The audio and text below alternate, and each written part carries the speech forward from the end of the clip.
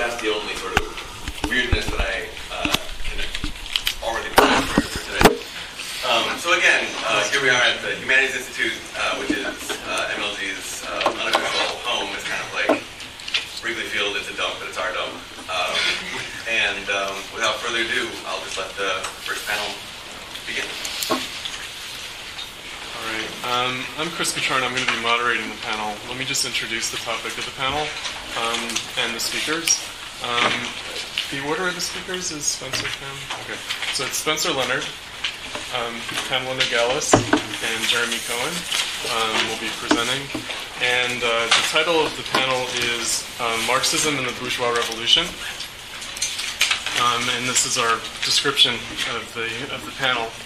Uh, the bourgeois revolutions from the 16th through the 19th centuries, extending into the 20th century, conformed humanity to modern city life, ending traditional pastoral religious custom in favor of social relations of the exchange of labor.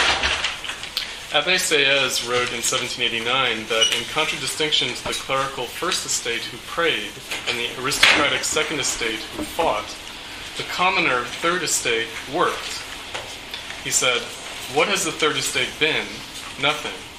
What is it? Everything. Kant warned that universal bourgeois society would be the mere midpoint in humanity's achievement of freedom.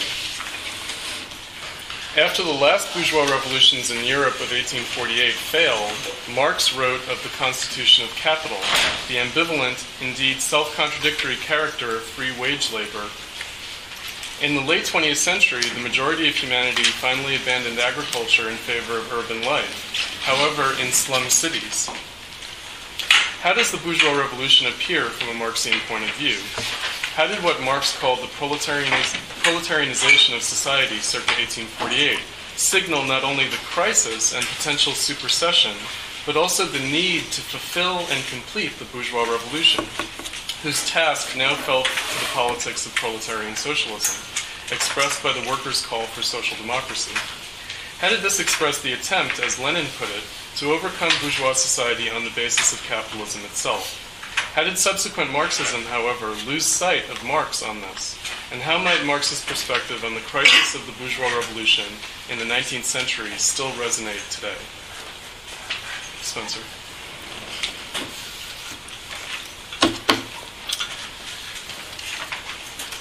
So, uh, my title is Marxist Critique of Political Economy, Proletarian Socialism, Continuing the Bourgeois Revolution, question mark. If, as Chris maintains in a recent issue of the Platypus Review, the fates of, I should say that all of us are members of the Platypus Affiliated Society,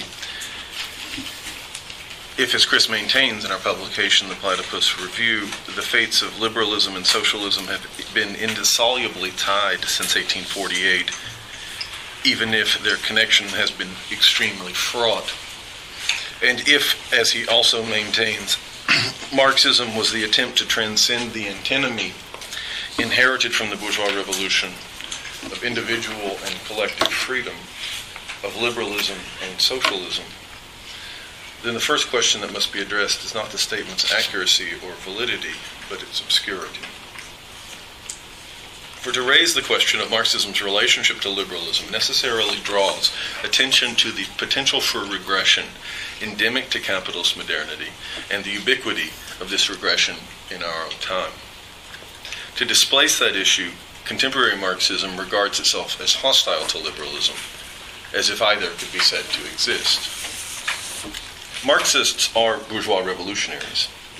Though no classical bourgeois thinker like Rousseau, Diderot, Kant, and Hegel, whom he so greatly admired, nor a vulgar bourgeois like the post 1848 liberals John Stuart Mill and Frederick Bastiat, Marx himself was nonetheless a bourgeois intellectual. Nor do I mean this in a merely sociological sense. Like the European socialists Fourier, Wilfred Owen, Saint-Simon, the left Ricardians such as Thomas Hodgskin and uh, Jean-Joseph Proudhon, Marx was a thinker, albeit a critical one, of industrial socialism. Even more emphatically than they, Marx's was the thought of the mature form of capitalism, the constitution of which was the task of the bourgeois revolution and bourgeois revolutionaries. In its highest expression, that of Proudhon, pre-Marxian socialism expressed a sort of absolute bourgeois consciousness, characterized by a synthesis of the great streams of British political economy, German idealist philosophy, and French revolutionary politics. In attempting to grapple with this socialist consciousness that combined within itself all streams of freedom thinking, Marx undertook not to oppose his own categories and concepts to socialism, or to the classical thinkers to whom Proudhon and the other socialists were indebted, but to grasp socialist thought critically as the consciousness of a transitional social form. He undertook this in order to facilitate the working through and realization of socialism's intrinsic contradictions, and thus to complete the revolution first begun by humanity's emancipation from traditional society. As Marx and Engels were clear in their own minds about their immanence to bourgeois revolutionary thought, Marx and Engels were clear in their own minds about their immanence to bourgeois revolutionary thought, for as they saw even prior to 1848, with the French Revolution, the fraught and seemingly intractable question of liberalism's relationship to socialism had become the true object of philosophy. As Engels wrote after an international gathering of radicals in London, organized by the Chartists, when English people, French people, and those Germans who take part in the practical movement but are not theoreticians nowadays talk about democracy. Theoreticians here is being used contemptuously. Uh, about democracy and the fraternization of nations. This should not be understood simply in a political sense. Already, from 1789 onwards, the battle cry of the revolutionary armies was Guerre au palais, paix aux chaumières, war to the palaces, peace to the cottages, du pain, du fer, et du cour, bread, arms, and courage. These and a hundred other obvious details already prove how greatly democracy differed at that time from a mere political organization. To this gathering, it will be clear that the Constitution of 1793 and the terror originated with the party that derived its support from the insurgent proletariat, and that Robespierre's overthrow signified the victory of the bourgeoisie. French Revolution was a social movement from beginning to end, and after it, a purely political democracy became a complete absurdity. The whole European social movement today is the second act of the revolution, the preparation for the denouement of the drama which began in Paris in 1789 and now has the whole of Europe for its stage. It is it is time in our cowardly, selfish, beggarly epoch to remember Marat and Danton, Saint-Just and Babeuf. If that mighty epoch, those mighty characters, those iron characters, do not still tower over our mercenary world, then humanity must indeed despair. Unquote. In the following years, in the years following 1848's failure to work out the final consequences of the democracy of 1793, Marx renewed his project of the immanent critique of bourgeois society, begun with his direct critique of the radicalism of his day, articulated in works like the German Ideology and especially The Poverty of Philosophy and the Communist Manifesto. Marx's post 1848 writing took the form of the critique of political economy, understood not simply as economics, but as as bourgeois society's attempt to recognize itself as the intellectual site within which the bourgeois revolution that arrived in 19th century socialism could most distinctly be grasped and critically appropriated. That is, for Marx, political economy was, from its first clarification of the stakes of the English civil wars to the left Ricardian theorization of the rise of labor politics, a struggle for philosophy, for self consciousness of the age. As Marx remarked in the 18th Brumaire of Louis Bonaparte, as unheroic as bourgeois society is, it nonetheless took heroism, sacrifice, terror, civil war, and battles of entire peoples to bring it into being. Nor was that struggle wholly without revolutionary theory. To the extent that it had brought the new into being, this had been achieved consciously. The critical appropriation of political economy is thus Marx's claim to inherit the bourgeois struggles the bourgeois struggle for consciousness in the changed circumstances that that struggle had itself brought about. The tradition that weighed like a nightmare upon the brains of those living in 1848 was precisely that of the old revolution. Marx is no more an economist than were the, politi- than the classical political economists themselves, whose work he completed and rendered scientific. This fact alone is obscure to Marxists today. Philosophically naive, if not vulgar themselves, Marxists believe Marx to have criticized Smith as a liberal utopian committed to a th- theology of perfectly functioning markets in the hidden hand, David Harvey. Or even more vulgarly, as an intellectual le- defender of bourgeois class interests, Alex Callinicos. What eludes Marxists today is that, in an important sense, Marx has no criticism of the classical political economic tradition. Rather, Marx critiques political economy in order to live up and live up to it and realize it through its own self-overcoming. That he does this, moreover, is not without precedent in, for instance, Adam Smith's criticism of the mercantilists or Ricardo's criticisms of Smith. This is not to diminish Marx's achievement or to occlude the distinction between political economy and its critique, but to emphasize what, in the long death agony of Marxism, few Marxists fully appreciate namely Marxism's immanence to liberalism. I will illustrate this in the time that remains by reference to Marx's relationship to and reading of Adam Smith. By the mid 18th century, the revolution pressed for by the great 17th century political economists had both borne fruit and reached a crisis. This was the moment when Adam Smith made his key contribution to the self apprehension of capital by his recognition that labor alone is the ultimate and real standard by which the value of all commodities can, at all times and places, be estimated and compared as Marx Marx. It was an immense step forward for Adam Smith to throw out every limiting spe- specification of wealth creating activity, not only manufacturing or commercial or agricultural labor, but one as well as the others, labor in general. With the abstract universality of wealth creating activity, we now have the universality of the object defined as wealth, the product as such, or again, labor as such, but labor as past objectified labor. The self consciousness of the bourgeois revolution in crisis, Smith cr- grasped what was essential about the social transformations through which he was living. As he lived in a time when the generalization of wage labor was in prospect. Quote, indifference towards any specific kind of labor presupposes a developed totality of real kinds of labor, of which no single one is any longer predominant. Smith's abstraction of labor as such is not merely the mental product of a concrete totality of labors. Indifference towards specific labors corresponds to a form of society in which individuals can with ease transfer from one labor to another, and where the specific kind is a matter of chance or indifference for them, hence of indifference of, of, is, is a matter of chance for them, hence of indifference. Not only the category labor, but labor in reality has here become the means of creating wealth in general and ceased to be organically linked with particular individuals in any specific form. Though his work in a crucial sense is pre industrial, Smith not only described but pushed for the generalization of wage labor, thereby the necessity of the Industrial Revolution. Building upon while relaying the foundations of the legacy of political economy, Smith grasped the necessity of consciously advancing the value form as a project of human emancipation. As Marx remarks, the classics of political economy, Adam Smith and Ricardo, represent a bourgeoisie which, while still struggling with the relics of feudal society, works only to purge, purge economic relations of feudal taints, to increase the productive forces, and to give a new upsurge to industry and commerce. The proletariat that takes part in this struggle and is absorbed in this feverish labor experiences only passing accidental sufferings and itself regards them as such.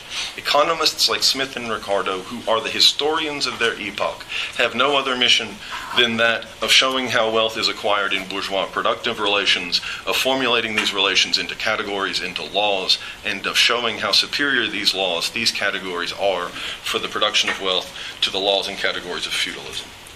Locked in Burkean or Badiouian recoil from the capital revolution, the left today is oblivious to what Marx and Engels grasped fundamentally that classical political economy's demand for the realization of bourgeois society gave conscious expression to the revolutionary aspirations of laboring mankind. In Smith's day, capitalism propelled enlightenment, and vice versa. And it is on this account that, contra the neoliberalisms, the neoliberals, or the, I should say the new liberals, such as Jonathan Israel and other would be defenders of an enlightenment whose genuine radicalism utterly eludes them and would terrify them into reaction if they could recognize it, Adam Smith is to be reckoned, reckoned among the most radical of 18th century philosophers. Rather than simply recycling the philosophical atheism of the 17th century, Smith imported English political economy into Scotland to comprehend in thought the tasks of the world revolution in his own day. His demand for the generalization of private property and the independence of men as owners of themselves was no less revolutionary than, than, than Proudhon's demand for the abolition of private property generations later. The point typically evaded by Marxists in their misapprehension of the later Marx's writings as somehow economic is this. As the working class, through its political self constitution, became owners of their labor power and thus bourgeois subjects, political economy came to express the consciousness and the limitations of the consciousness of the socialist workers' movement itself. The working class, not John Stuart Mill and other vulgar economists, are the true heirs of Smith and Ricardo.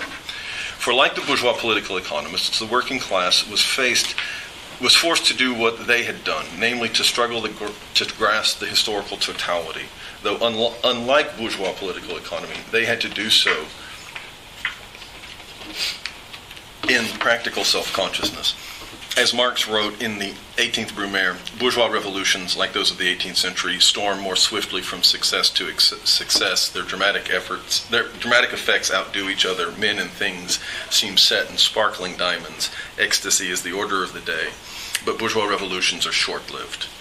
Proletarian revolutions, by contrast, constantly criticize themselves, constantly interrupt themselves in their own course, return to the apparently accomplished in order to begin anew. They deride with cruel thoroughness the half measures, weaknesses, and paltrinesses of their first attempts, seem to throw down their opponents only so the latter may draw new strength from the earth and rise before them again, more gigantic than ever recoil constantly from the indefinite colossalness of their own goals until finally a situation is created which makes all turning back impossible. When the working class demanded the 10-hour day, it demanded the fullest reali- it demanded a fuller realization of the commodity form as was realized in per- industrial production. When it threw its opponent to the ground, it rose up on a colossal scale, challenging the working class to grapple with the colossal character of its own emancipatory project. In Marx's famous remark in the Grundrisse upon the method of political economy, he locates Smith within the history of the conceptual evolution of the dialectical science of society. In its earliest phase, political economy struggled to wrest free from the immediacy of social, of social practice it began with the population, a chaotic conception of the whole, and by a process of abstraction moved analytically towards ever simpler concepts, from the imagined concrete towards ever more attenuated abstractions, until it arrived at the simplest determinations. Here is the process that the likes of William Petty, Boisguilbert, North, Barbon, and Locke undertook in the last third of the 17th century, as a result of which bourgeois social, legal, and institutional forms were unmistakably put in place for the first time. In that heroic period of the science of capitalism, thinkers began with the living whole, with population, nation, state, several states, etc., and concluded by discovering through analysis a small number of determinations, abstract general relations, such as division of labor, money, value, etc. Already by the 17th century, what Marx wrote in 1843 to his erstwhile friend and comrade Arnold Ruge was coming to be. Namely, in and through its coming into being, post feudal society formed the philosophical object. With the rise of capitalism, philosophy became worldly. And by the second half of the 18th century, the capital revolution had unmistakably stalled in oligarchy and state sponsored monopolies, eliciting from Adam Smith a political economic system which, quote, ascends from the simplest relations such as labor, division of labor, need, exchange value, the level, to the level of the state, exchange between nations, and the world market. As Marx remarks, that was obviously the scientifically correct method. By developing abstractions that rise from the abstract to the concrete, Smith's thought appropriates the concrete, both more fully and self consciously. Commenting on bourgeois political economy, Karl Korsch wrote The material relations of production of the capitalist epoch only are what they are in combination with the forms in which they are reflected in the pre scientific and bourgeois scientific consciousness of the period and they could not subsist in reality without these forms of consciousness. The material, I'm going to reread that. The material relations of production of the capitalist epoch are what they are in combination with the forms in which they are reflected in consciousness and could not subsist in reality without those forms of consciousness. Were not capitalist society philosophical in this sense? Were there no such coincidence of consciousness and reality in the great works of bourgeois political economy, there would, in fact, as Korsch notes, be no way in which a critique of political economy could function as a theory of social revolution. Smith's thought was critically bound up with his society in a double sense. It was of that society even as it advanced it. If, Nicholas, if, as Nicholas Brown commented at this year's Platypus Convention, Marx is more Hegel, Hegelian than Hegel, I would only add that this is most crucially true precisely with reference to Hegel's idealism, which is nowhere better anticipated than in The Wealth of Nations and nowhere more fully realized than in Marx's so called economics that this same capitalist society later failed to realize and overcome itself is alone what renders Smith ideological just as surely as it falsifies Marxism itself. Smith addressed himself to the competing schools of political economy as a philosopher of freedom, grasping what he called commercial society in order to renew the revolution formed, and, and, or, and grasping what he called commercial society in order to re- renew the revolution formed his leading preoccupation as political economy's historical consciousness. This is as the historical consciousness, that is, as the historical consciousness of the bourgeois revolution, Marx's critique flows out of Smith. It's neither assimilable to nor extricable from political economy as the bourgeois philosophy par excellence. Just as Smith presupposed and sought to advance the 17th century revolution, Marx presupposed Smith and the French Revolution and for Marx, rendering conscious capital's transitional character required achieving a deeper sense of historical specificity, a deeper grasp of the freedom problem that the laboring classes had set themselves in and through their own project of self emancipation. It is this critical project of realizing capital, initiated by the bourgeois revolution and taken up by Marx, that's been lost sight of today. Like the vulgar thinkers of the post 1848 bourgeoisie, today's left fails to, beyond, to advance beyond their predecessors and regresses behind their level. And just as the vulgar political economists elicited from Marx's pen no more than a torrent of vitriol, today's left is beneath critique.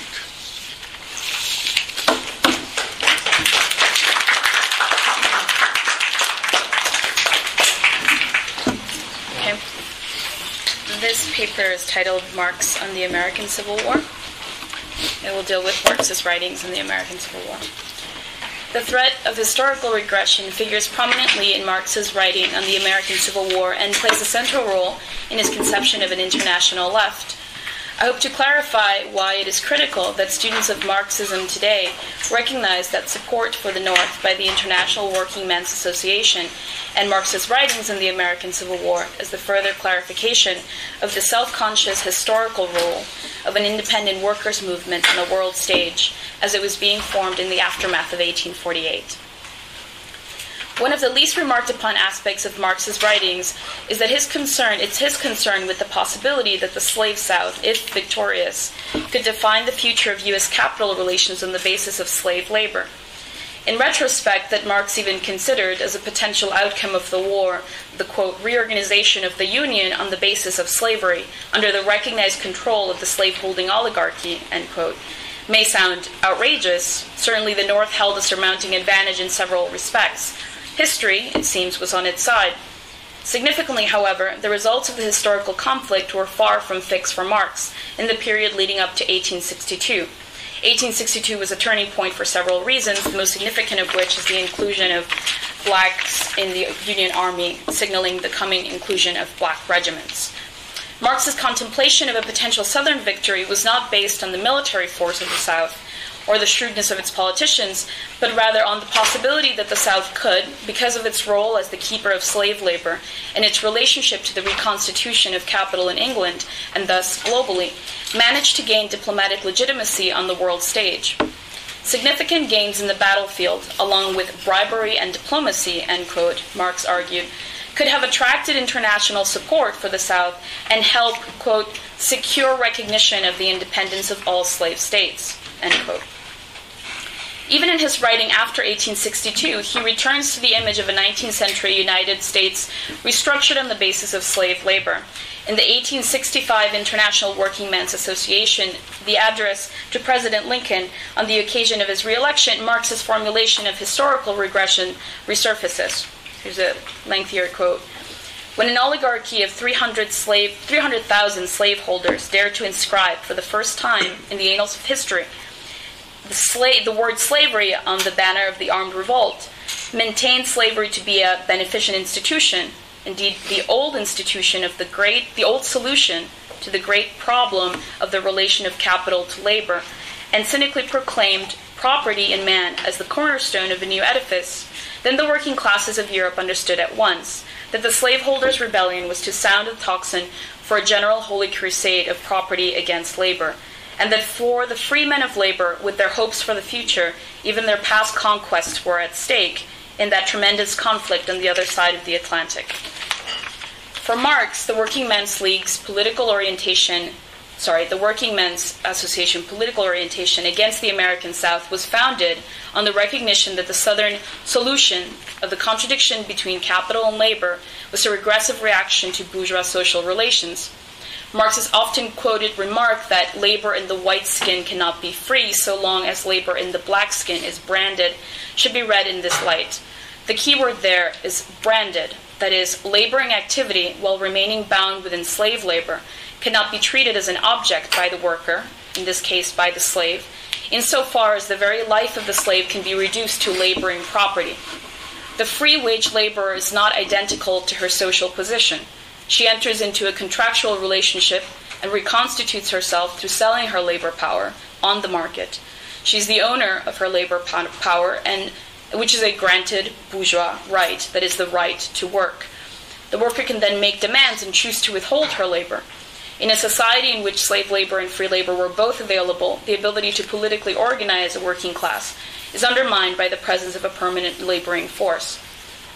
In the 19th century, Southern planters argued for the need to reinstate a traditional order of society cleansed from the unpatriotic profiteering of the manufacturing North. Their disenchantment with bourgeois social relations ran deep.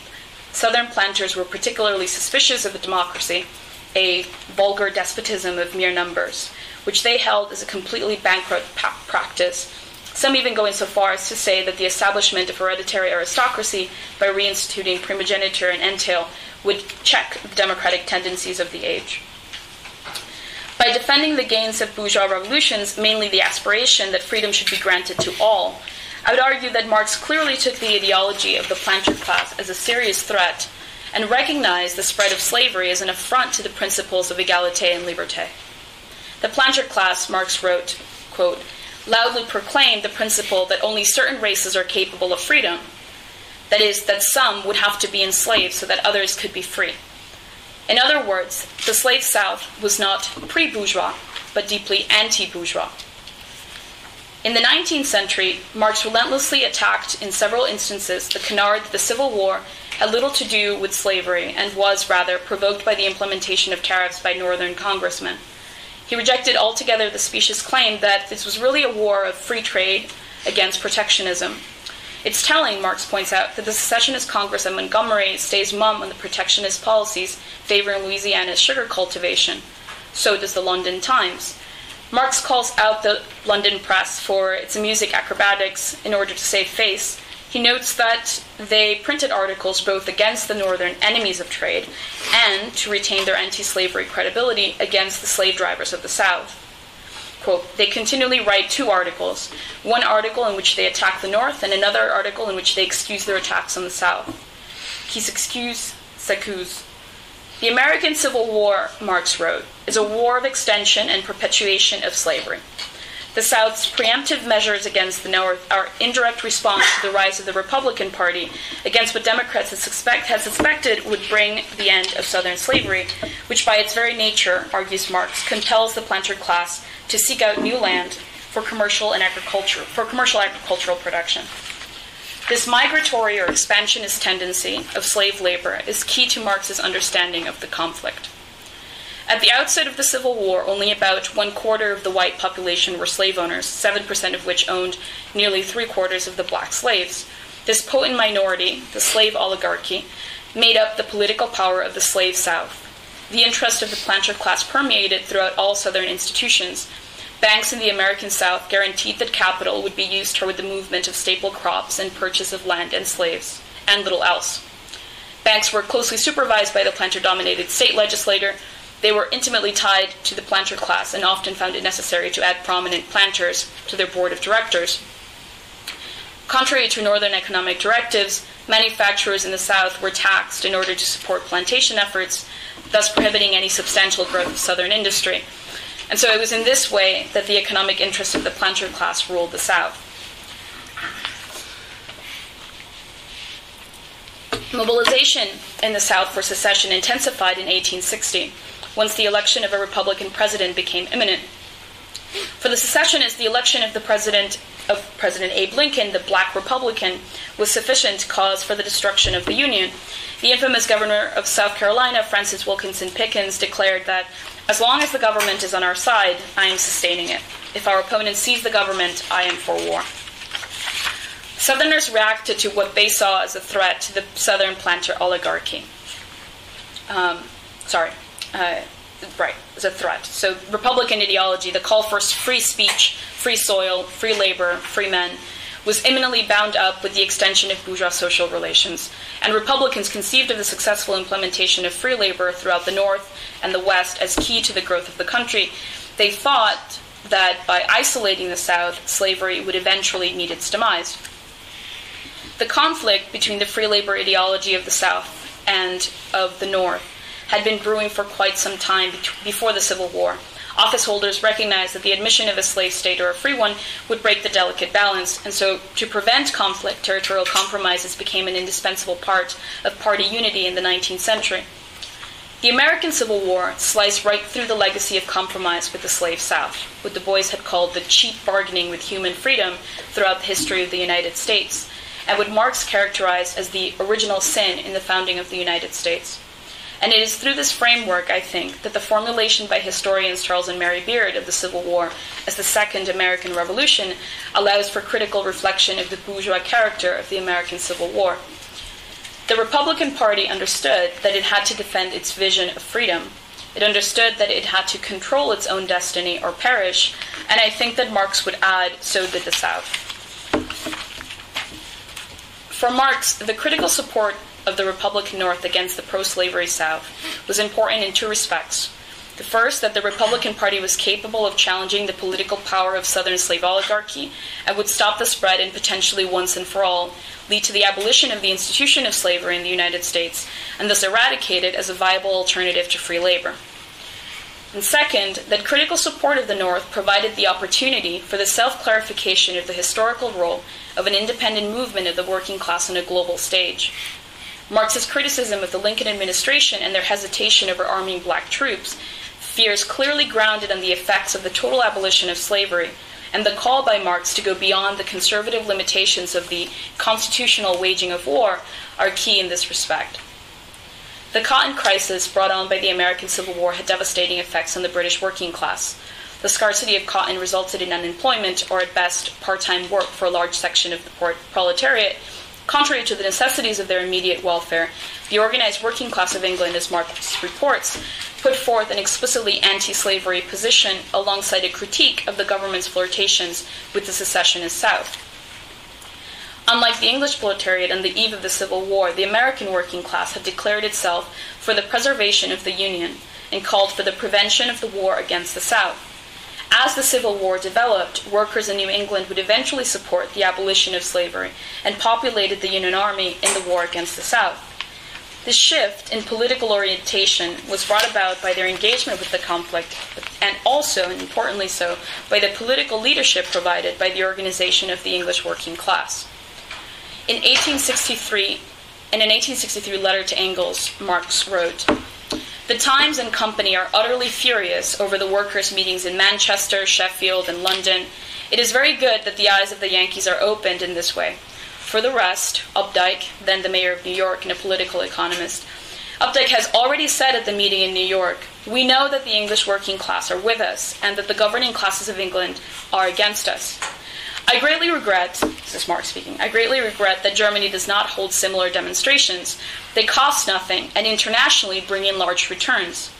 Germany would have had all, more, all the more warrant for these, as in this war she has done more for the Yankees than France in the 18th century.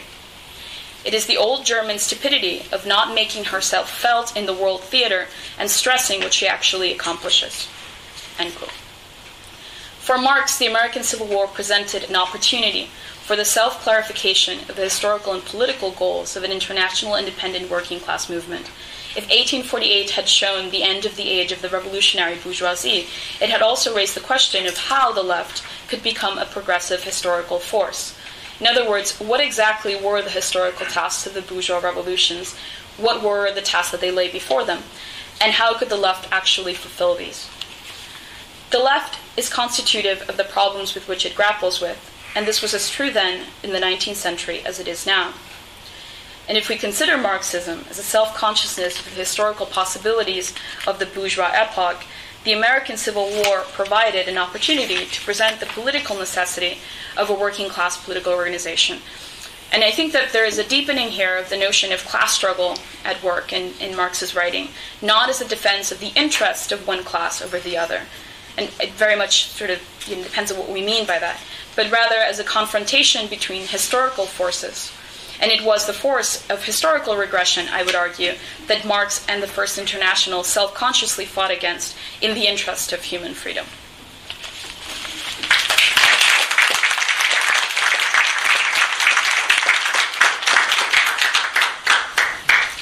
I'm uh, Jeremy Cohan, a graduate student in sociology at NYU. Um, the title of this paper is shortened significantly. It's just called Lukács's Abyss. um, in his idea for a universal history from a cosmopolitan point of view, Immanuel Kant sets forth to tell the story of humanity as if it were one of progress. This is not easy, says Kant. Quote, since men in their endeavors behave on the whole not just instinctively like the brutes, nor yet like rational citizens of the world according to some agreed on plan, no history of man conceived according to a plan seems to be possible.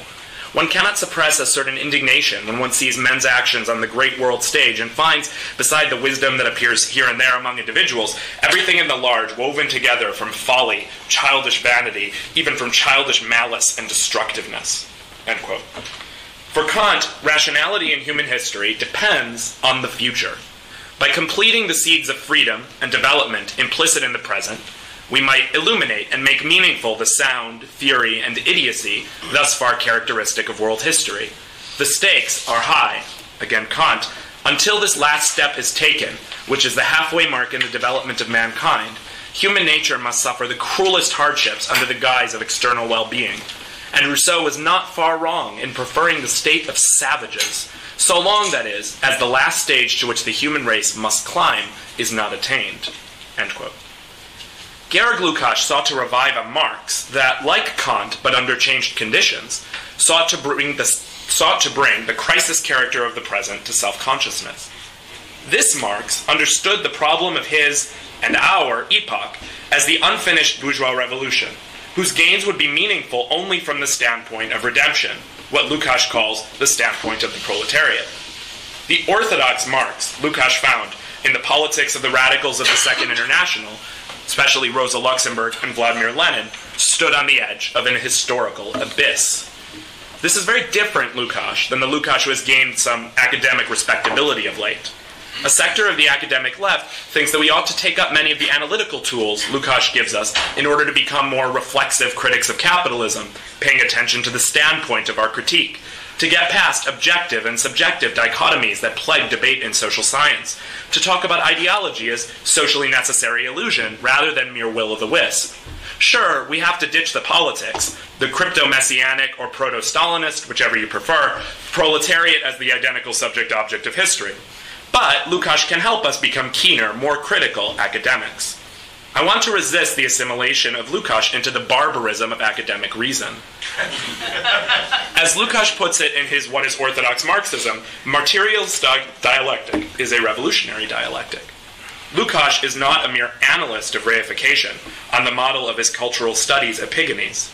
He sought to demonstrate that Marxism was, from beginning to end, only possible as a practical self clarification of the ongoing crisis of society triggered by the unfinished bourgeois revolution. Recent attempts to rescue the academic Lukács are an, exercise in contradiction. It is precisely when he stopped being an academic that Lukács could move forward with his philosophical problems because they were being addressed politically by the revolutionary Marxism of his day. But just as futile might be the attempt to recover the political Lukács today. For Lukács's moment is not ours. The crisis and possibility of the early 20th century is far from what we face. So any recovery of Lukács must operate on two levels. One, by asking seriously whether we have confronted or overcome the crisis that Lukács attempted to formulate theoretically. And two, by recognizing that if we have not, we cannot simply take up where he left off. The problem of Lukács's reification essay is reason at odds with itself, reason that ends in mythology, suffering, and unfreedom. We return again to Kant, this time offering the battle cry of the Enlightenment. Ours is the genuine age of criticism to which everything must submit. Everything. Not just ideas, but social institutions and forms of life, too, must justify themselves by appealing to reason, rather than through claims of tradition or dogma. The philosophical enlightenment and the political revolutions that fought under its banner, the American, the French, the Haitian, the revolutions of 1848, among others, looked forward to the realization of reason, freedom, and human self development in this world, in our social institutions, and in ourselves. This would be emancipation, humanity's maturity, as Kant again put it. But bourgeois society, says Lukács, has been unable to fulfill its promise. We all too reasonable moderns seem consigned to contemplate a ready made world. Lukács shows this reason at odds with itself, a more powerful and mythical dominating force than nature ever was, in play in all forms in our society, from the factory machine to the bureaucratic state, from jurisprudence to journalism. He peoples his essay with characters from the great social scientists of his day, Max Weber and Georg Simmel, the bureaucrat, the abstract calculative individual, to describe a society whose reason is a soulless, restrictive rationalization, shaping humanity in its narrow image. He might, like Weber, have also turned to Nietzsche's last man, the shrunken, all too reasonable modern toady, happy, unable to give birth to a star. Nor does academia help us out of this crisis of modern reason.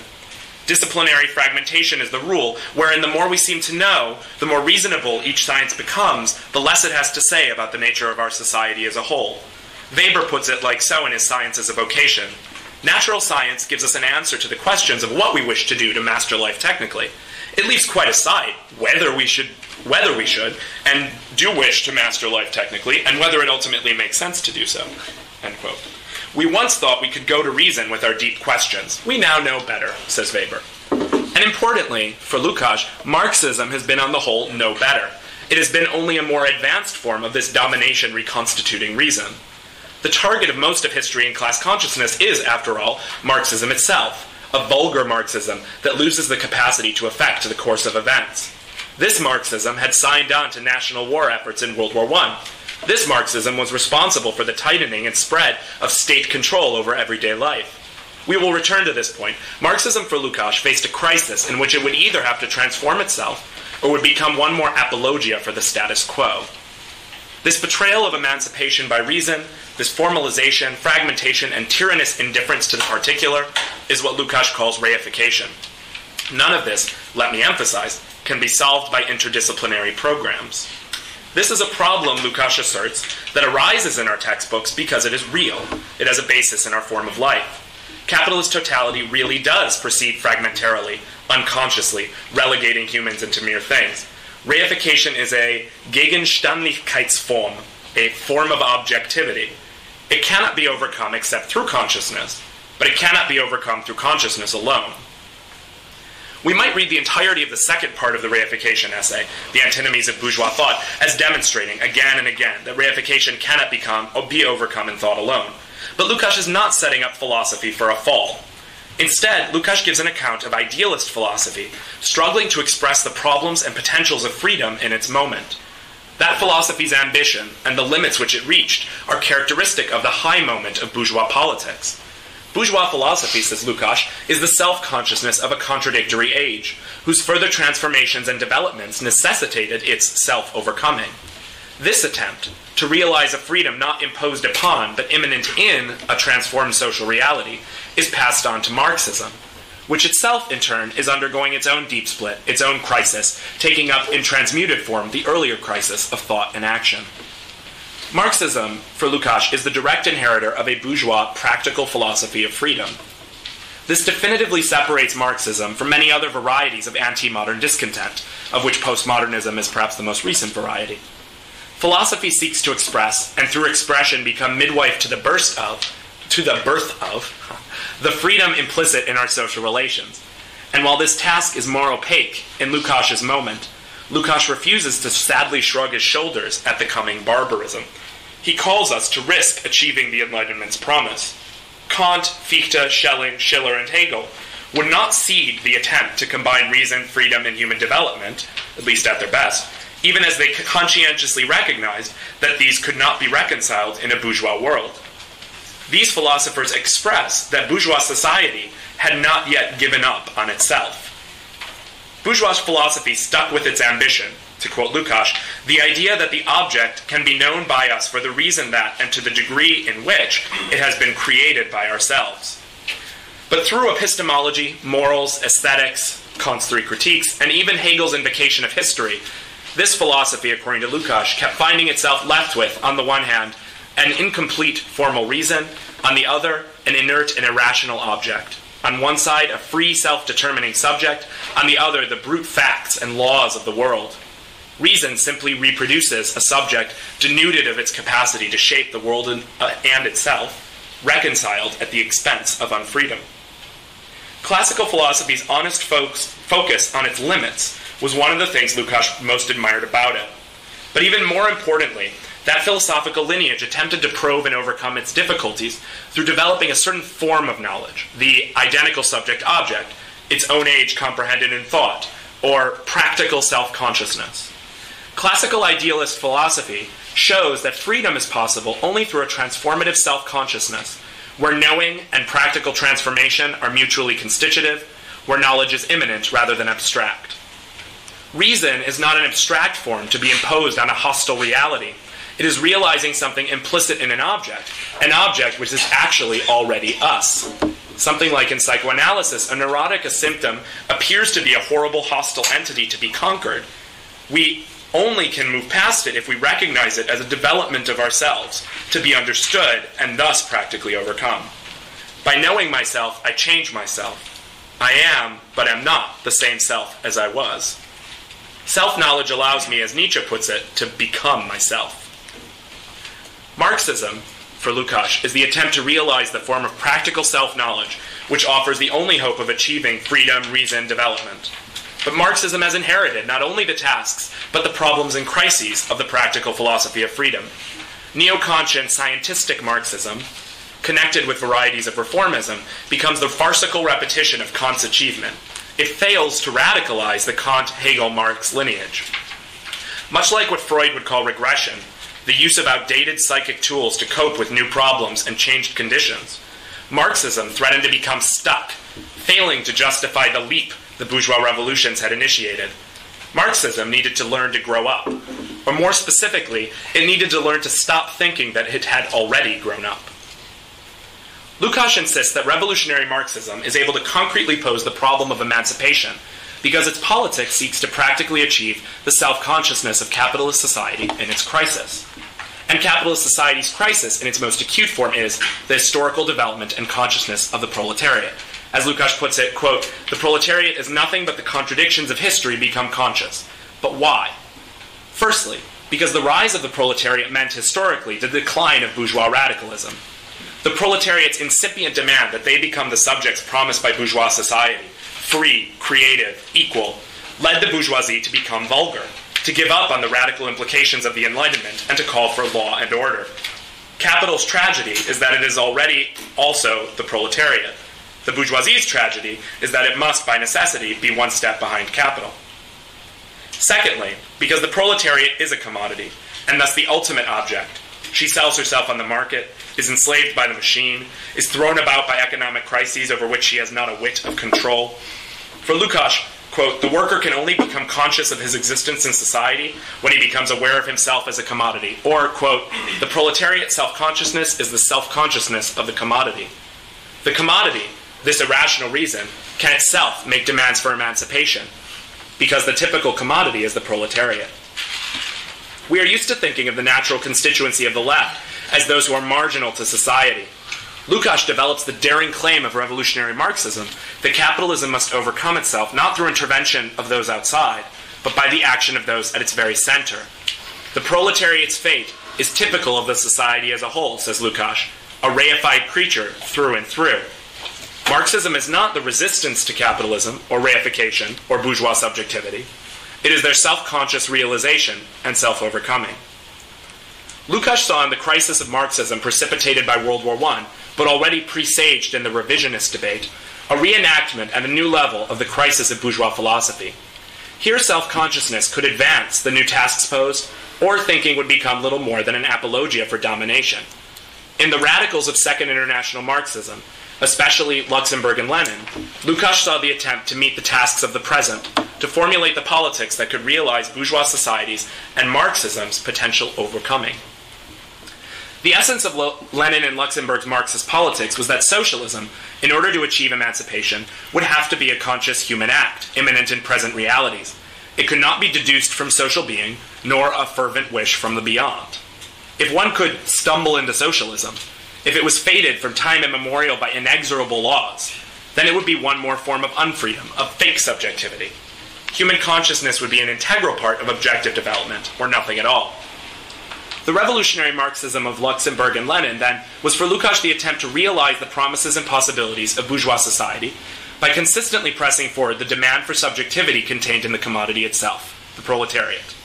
This politics, in extremely telescoped form, insists on the leading role of the proletariat as the most typical element and crisis point of capitalism, an emphasis on the subjective development of the proletariat and any struggles it undergoes, a fight against the reduction of Marxism into sectional interest, seeking its cut of the pie, the importance of emphasizing not victories, but limits in any given interest pursued action by the proletariat, the concomitant value of self criticism and self transformation, the centrality of self transformative political practice, and an organization or party dedicated, as Lukács quotes Marx in the Communist Manifesto, to clarifying the international and historical significance of a given action. This self conscious capitalist politics elucidated for Lukács what the practical philosophy of freedom would have to look like in order to overcome the present, and to realize the endangered, fragile past, soon to become only the miserable precursor to an even more miserable sequel. Lukács' history and class consciousness might be summed up in Freud's description of the goal of psychoanalysis, wo es war, soll ich werden, where it was, I shall be. Self consciousness changes us, but we are still somehow us. We have realized something about ourselves. Nor is self consciousness merely in the brain. To be really self conscious, we need to change our way of being. Lukács' Marxism is trying to recognize that Marxism poses the questions to bourgeois society and modernity as to whether or not it can achieve this kind of transformative self consciousness. The prospects do not look bright. And why return to Lukács after all? especially if I insist that he was attempting to make sense of his practical moment, to raise the moment of world historical danger and possibility of roughly 1917 to 1923 to self consciousness. What relevance does he have in a moment whose practical possibilities are so different, so diminished? Psychoanalysis, again, perhaps provides a useful metaphor. We do not revisit our childhoods to relive them, relive them, only to recognize how we have yet to integrate them by overcoming them. Lukács, again, helps us see that we haven't grown up which means that perhaps Lukács' identical subject object seems so messianic to us because we have surpassed, not because we have surpassed Lukács and his silly metaphysical speculations, but because we find ourselves no longer to imagine, this, no longer able to imagine this kind of freedom. We no longer believe that we can overcome capitalism for the better, realizing the reason, freedom, and human development it promises. Capitalism instead is a brute, inert, foreign entity dominating us in our capacities all we can do is look to the marginal, the suffering, the pain, and offer sympathy and solidarity with their struggles. Struggles that are part of the natural laws of history. There will be power, there will be resistance. Our politics takes something like the form of Nietzsche's eternal return. As critical as we are, we can only imagine freedom swooping in from beyond and bringing its liberation, its magical liberation, into our miserable lives. And perhaps we're right, for we are surely in the age of second childhood. Sans teeth, sans eyes, sans taste, sans everything. Was Lukács a fool for wagering on the possibility of freedom, i.e., by becoming politically a Marxist? Lukács would insist on Luxemburg's call socialism or barbarism. Either the imminent overcoming of capitalism and its irrational rationality, or resignation to ever new, ever horrifying forms of reasonable barbarism. I want to offer a quote from Rilke in the first of his Duino elegies, written in 1922, so right around when Lukács was writing the reification essay. Yes, the springtimes needed you. Often a star was waiting for you to notice it. A wave rolled toward you out of the distant past, or as you walked under an open window, a violin yielded itself to your hearing. All this was mission, but could you accomplish it? Without Lukács's Pascalian wager, not on God, but on freedom, it is not clear to me that Lukács is worth much of anything at all. The demon that drove him from philosophy to the politics of revolutionary Marxism is, if anything, what should call out to us today, not the analytical tools we can dig up from the grave of his practical philosophy of freedom. Or maybe he is just a dead dog.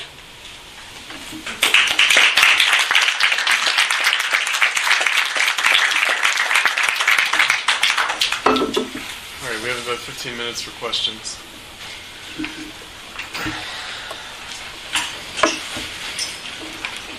have a question for Jeremy.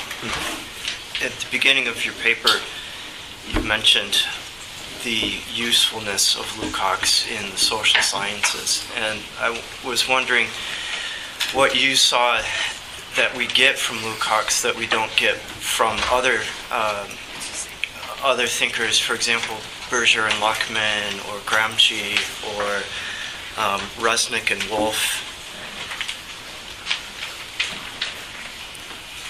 Is that That's Yeah. pretty much the Um, question. yeah. I mean, I guess for me, the big issue.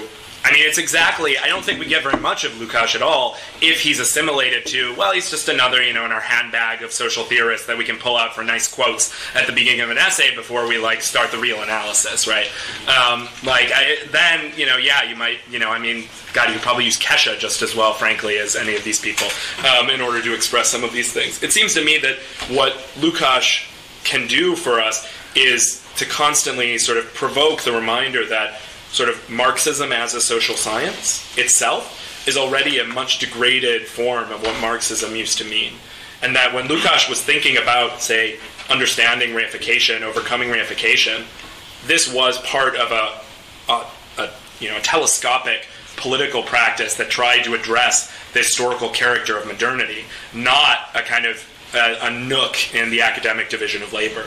Um, so it's to me, it's that it's that sort of call of Lukács to remember what Marxism was once about, and the sort of like the, the small voice of the potential philosophy of freedom that maybe that memory still represents. That is how is, is the only way in which I think it's worth having Lukács speak to us today.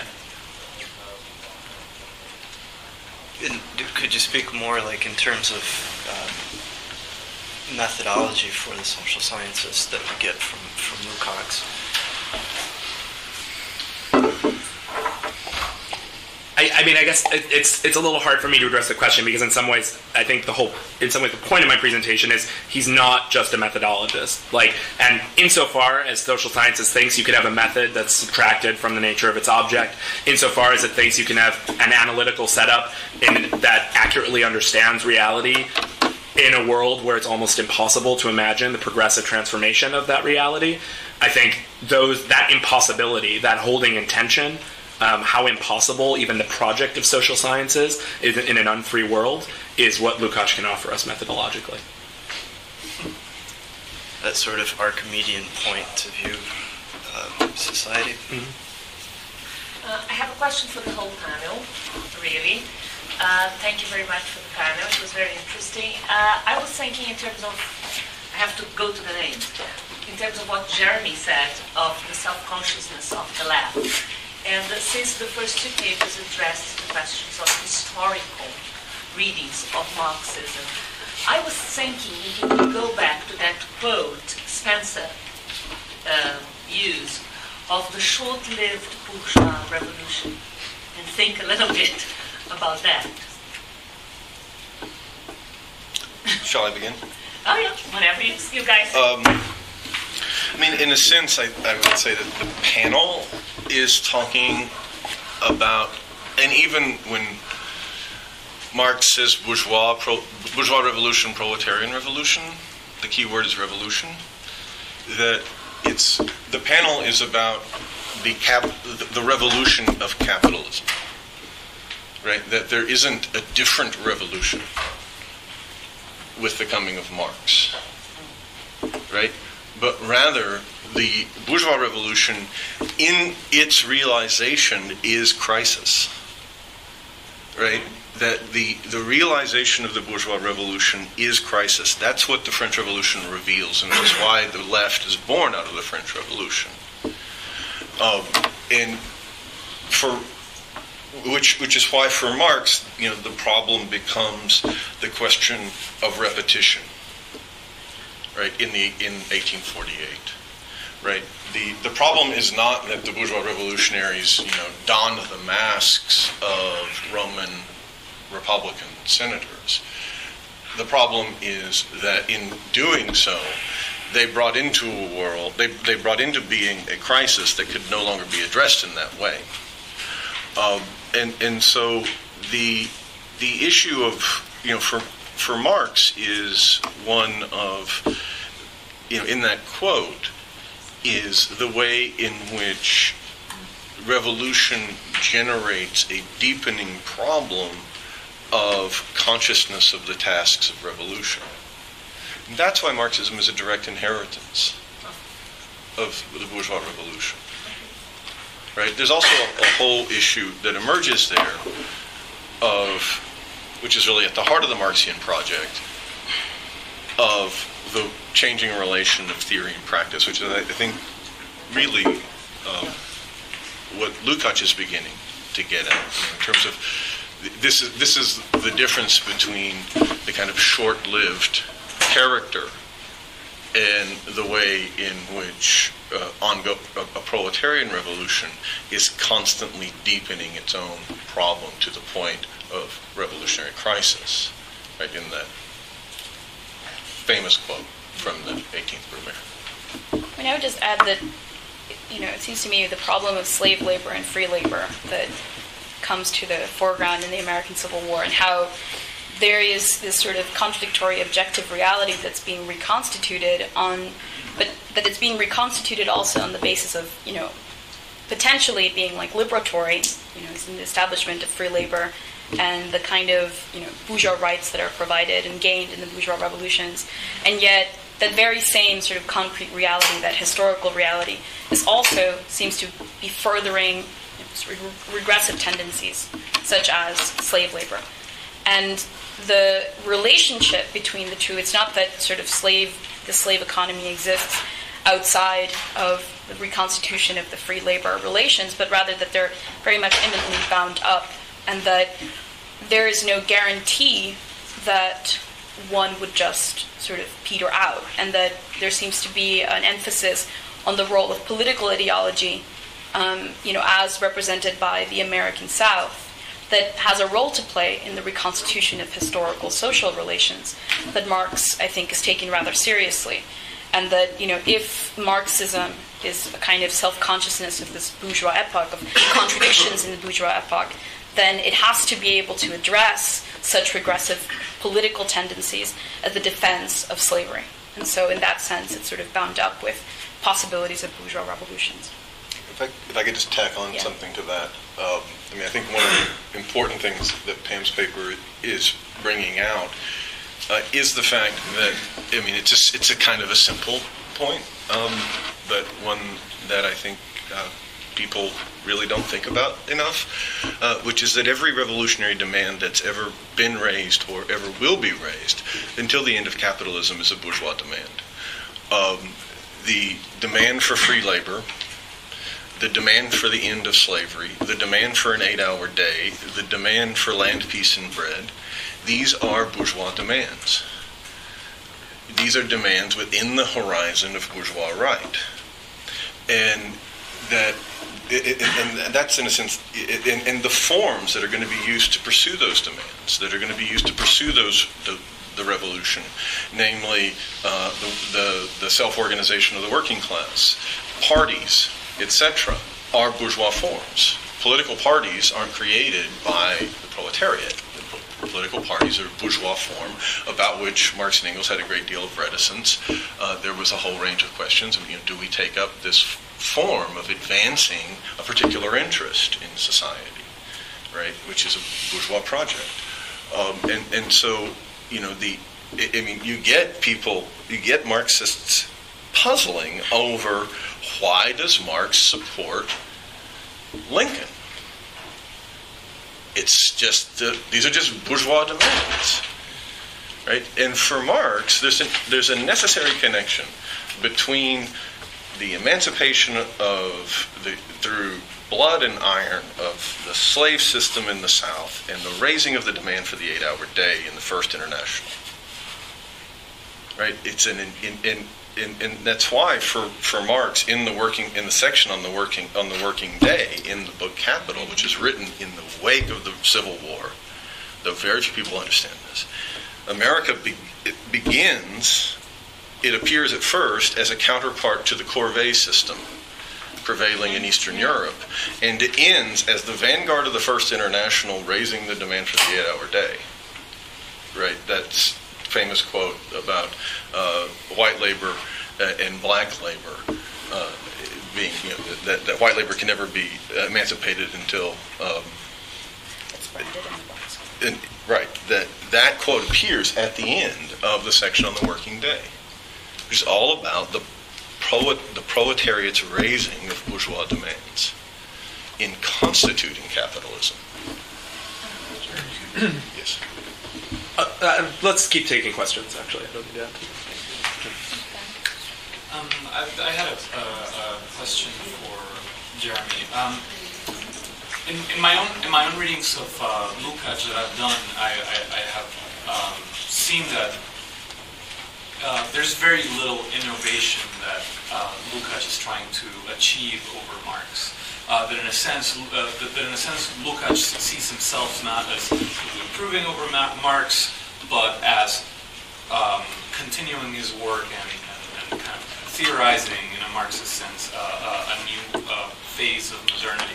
Um, but what I'm, what I want you to maybe expand on is, you know, because uh, we, we, we see Lukács as having like a very different focus. I mean, we imagine the world of Lukács as a, as a world of um, uh, of, uh, as a, we have like a critique of bureaucracy and a critique of certain forms of rationality in a way that it doesn't seem to appear uh, in Marx. So what I'd like to, for you to maybe expand upon is what has changed between the 1860s, the era of, of Marxist capital, and the, and the teens and the 20s, the era of, of. Uh, what has changed historically politically? I mean, I think there are two sort of big things that Lukács is trying to come to terms with. One is how, and this is why he goes in some ways back to bourgeois philosophy as well, because his claim is that sort of political thinking writ large needs to deal with the kind of strange way in which time works in capitalism. That being something like the French phrase "la plus ça change, la plus c'est la même chose." Right, the more things change, the more things stay the same. That at the same time that there's a restless, restless, dynamic, total, complete change of all conditions. At the same time, there's nothing at all seems to have changed. And it's this, it's this trying to deal with the the contradictory character of dealing with new problems that arise that come from the historical transformations, but also at the same time the fact that the old problems sort of manifest themselves in those new problems. The old problems have not been successfully overcome. We still live in capitalism. And in some ways, that's a way of saying we live in capital. So that's one thing. The other thing I think that changed clearly for Lukács was the rise of Marxism, um, and that in some sense, the, the problems that Marx had to deal with, which was I mean, in some ways, they're dealing with similar problems. Marx is worried that working class consciousness would be insufficient in realizing the kind of radical potential that was opened up by the kind of politics that were going on in the 19th century. That consciousness was lagging behind rather than sort of realizing potentials implied in social reality. For Lukács, this is all the more the case that insofar as Marxism has gotten stronger and stronger, and insofar as Marxism has been implicit or complicit in the development of things like bureaucracy and things like soulless rationalization. Um, you know, in, in Capital, right? It's the um, it's the the change of the working day brought on by workers is what makes capital make the machine ever more like extractive of working people's power, right? Um, labor power. So it's that complicity that then requires a new stage of self examination, of self understanding of what Marxism might be, which is just, you know, I think it's.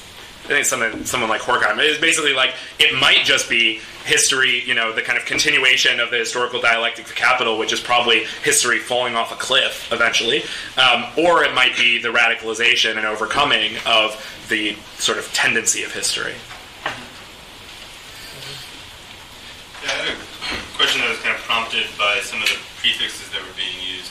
Um, in particular, Pam, when you described the uh, slaveholding uh, political oligarchy of the South as anti-bourgeois. Um, and so I know that part of what you guys are, are uh, proposing is that the left consider itself, the Marxian left in particular, consider itself immanent to bourgeois history, immanent to the bourgeois epoch of, of society. Um, but I'm kind of curious how you would articulate and expand upon your conception of the way that these discontents that would consider themselves to be, or we would consider to be anti-bourgeois, or Jeremy used the phrase, you know, postmodern, anti-modern, um, would themselves be uh, characterizable as immanent to the logic of bourgeois bourgeois history. Um, and, and how do we how do we kind of deal with these kind of uh, antinomies? Both this drive of the Marxian project to realize immanent to capital, the potentials of capital, and discontents anti-modern, anti-modernities, anti-capitalist politics that are also immanent but see themselves as somehow like, outside of, you know, either in a progressive or in a kind of uh, a speculative, you know, future sense. I mean, just to clarify, because I think it's an important point um, that what the South has, in a sense, is a critique of capitalism. Um, you know, it's it's a it's a critique of capitalism that's based on an Cannibals idea that right. re, a return, a re, yeah, a return to um, traditional society, a return to the morals within the family structure, a return to, you know, this is why they have this critique of the North as like um, profiteering and unpatriotic, this kind of thing. I think that um, what's as far as like the way in which it's an expression also of like bourgeois sort of contradictions within a capitalist sort of epoch. I, you know, obviously the reproduction or the production of the slave South is based on its ability to be bound up with the objective reconstitution of capital relations internationally. So it's not outside of the logic that reconstitutes capital social relations. The ideology becomes a problem, I think, for Marx insofar as its response to these contradictions is regressive. It literally is a call to, as he calls it, it's a solution to capital, the, the problem of capital and, and, and property, or labor and property, in a way in which actually, instead of pulling these, um, instead of providing the space for these to be articulated distinctly, it mm, collapses their distinction, and so hence slavery is, you know, what slavery is is, you know, um, a laboring property, right, as opposed to giving a chance of sort of a recognition, a kind of self-consciousness of what labor within capitalism means, um, and how it, to a certain extent, could potentially sound that you know it's undoing, um, and you know in that in that sense. But so I don't mean to imply, and I don't you know I hope that I didn't mean to imply it in, in the paper that the South somehow, the, its ideology somehow outside of the, the contradictions, you know, within bourgeois social relations, but rather it is constituted on the basis that these contradictions are not overcome, and so it has a particular response to them. Um, and so that's what I meant by anti-bourgeois. Well, you're making a face. So, I just, I feel like, I'm sorry. I mean, so you have like some kind No, I of mean, I think. I just feel like it's important to, to. I mean, you're describing as far as the reconstitutive logic of capital globally, um, as you know, the context in which the slave South exists, I think is, is critical to comprehending the character of the slave South and also the ideology. I mean, I guess I have a problem just thinking of them as straight up anti-bourgeois to the extent to which they completely adopt the American Constitution. You know, there is this understanding of themselves as Well, being they still. don't. I mean, I mean, this is this is maybe too too technical or historical, but Well, I it's just not that technical. I mean, they don't. I mean, that's, and they one of yeah. I mean, they rewrite the Constitution. Not only that, I mean, they find ways of interpreting founding documents that are supposed to present the you know the history of the American Revolution in a particular light. And I mean, I think that this is why, you know, like when Du Bois says that, you know, what the history of the United States has been is sort of compromise, it's sort of cheap bargaining with human freedom. I think that it is an interpretation of what the American Revolution is supposed to stand for that is also at stake during the American Civil War. I think that, you know, but anyway, so I would, you know, I would say that much. Yeah. I, I mean, I just want to address, and this is, you know, this word regression that has come up a few times. I mean, I, I talked in my paper briefly about sort of using it in the Freudian sense. That it's not just like a return to the past, but it's actually the the sort of the the continual use of the same tools that barely dealt with past problems to deal with sort of new and transformed problems. And it seems to me that the in some ways, what we might define as sort of like what it means, what does it mean that it, one form is like outdated consciousness? Seems to me to be that it's in, it it recognizes or it thinks of itself as adequate to its moment. It seems that Marxism's like best and only advantage is that it recognizes sort of the constant insufficiency of consciousness to its own moment and that it's constantly sort of this work of self-critique to overcome the sort of necessary misrecognition of present social reality and that's something that all sorts of different forms of consciousness, whether they are academic forms of consciousness, postmodern, or the slave South, the, the kind of self satisfaction, the sense that we are adequate to a new reality, like we get it. Um, that I think is the that's what vulgar Marxism is really like that's what vulgar Yeah. thinking is not like economism or whatever economism is just one form of vulgarity which is the sense of adequation Just to la- tack onto that, um, another way of another, another way of saying that is the greatest illusion, in, in a sense, the most deeply reified illusion of of Marxists is that they live in bourgeois society. Um, that y- the, I mean, the real issue of reification and the potential for regression is a question of, as Jeremy says, is the is the failure of Marxism to live up to the project that the working class is engaged in. Uh, the, the the real issue of reification is is Bernstein, is Kautsky, is the Marxism that's going to bury the revolution. Right, that it's the bourgeois society that believes that it's just a question of you know, well, we can we can work this out in this stable democratic bourgeois system like they have in England, supposedly, right? The Bernsteinian illusion, right? Rather than seeing that the problem of Bonapartism, the problem of vulgarity, which is objective, vulgarity is objective. Bourgeois society is actively disintegrating as a result of the workers' struggle. The workers' struggle is constituting a statified world. It's a, constituting a deeper problem for itself that it has to address. Its organizations are transforming society. It's behind. It's at the heart of world history, right? Which is why the issue becomes the self-criticism of Marxism.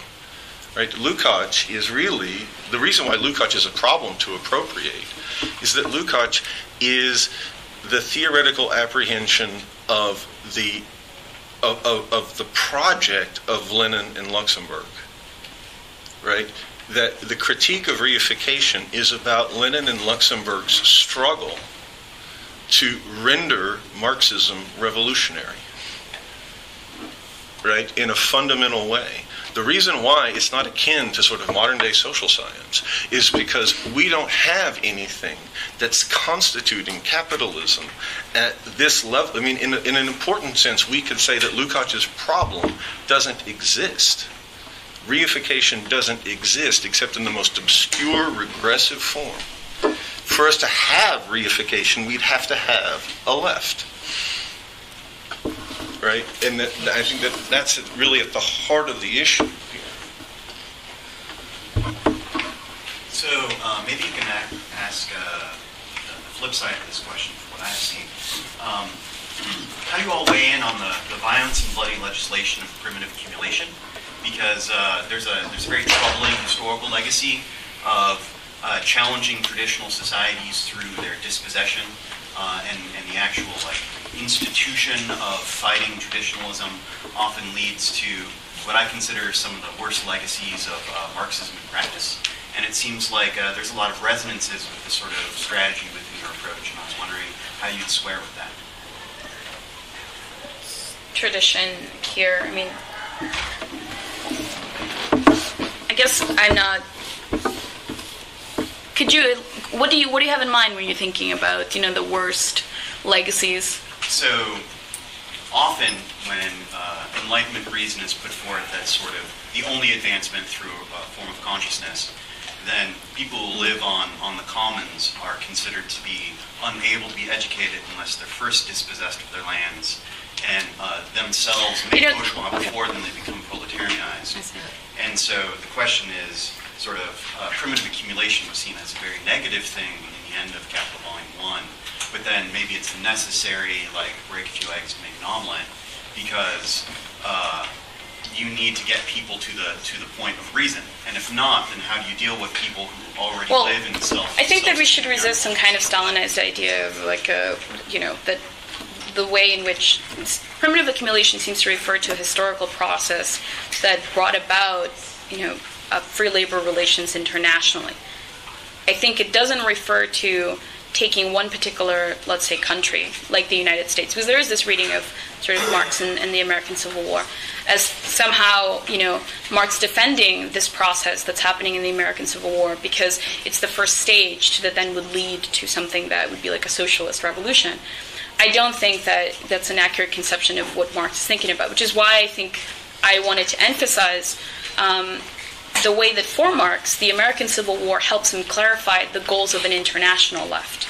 Um, and so, in that sense, I don't think that the support for the American War, uh, Civil War is somehow a support for a kind of stages conception of first we get rid of slavery, we have you know uh, free labor relations, and then we'll have socialism. Um, that that's one thing.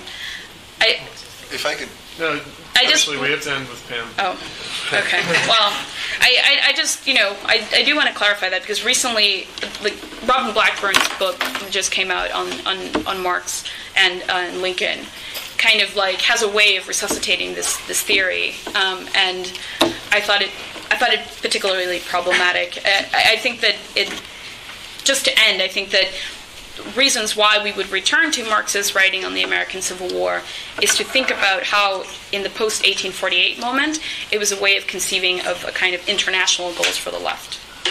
That's all.